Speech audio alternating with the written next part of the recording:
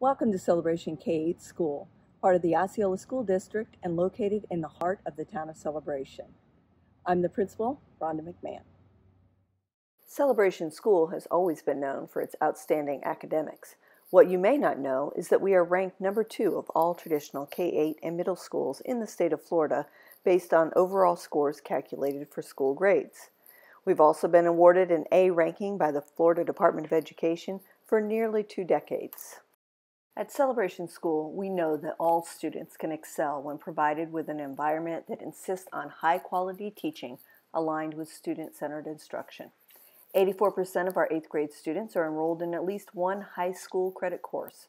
We have a 100% pass rate on end of course exams in algebra, biology, and geometry, and a 94% pass rate in civics.